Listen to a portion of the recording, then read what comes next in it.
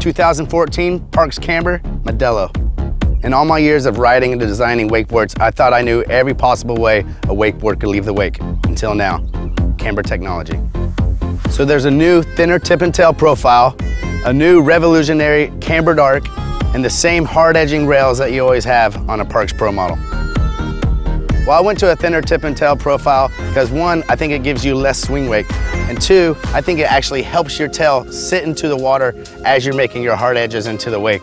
The deeper your board sits, then the thinner your rail is, the more bite it's gonna have on your way up to the top. Another characteristic I really like about having a thinner tip and tail is how much it actually bends. When you're on a cable park and you're on a rail, you can actually feel the thinner tip press and actually bend, which makes it more comfortable to nose press.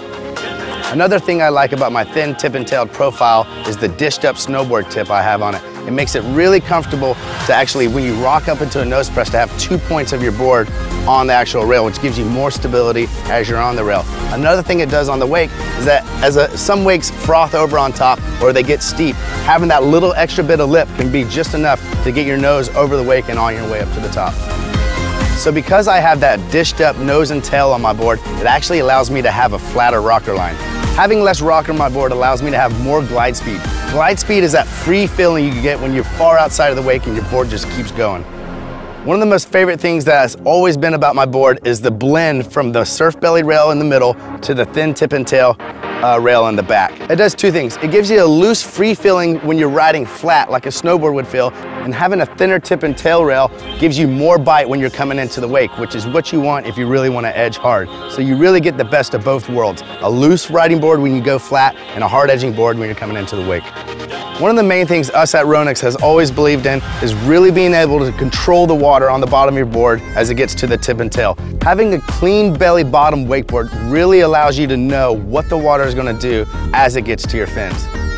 I feel with this new camber, it's a whole new different kind of kick.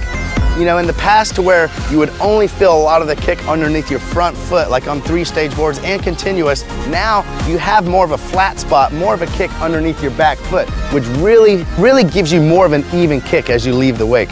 You know, it's just so refreshing to have a new option of the way your board rides. Not to say one's better or one's worse than the other, but to have a whole new option and a whole new way that your board actually rides on the water is, that's the most gratifying thing about R&D. It's only a matter of time before you ride a cambered board, so make it sooner than later. Check out more features now.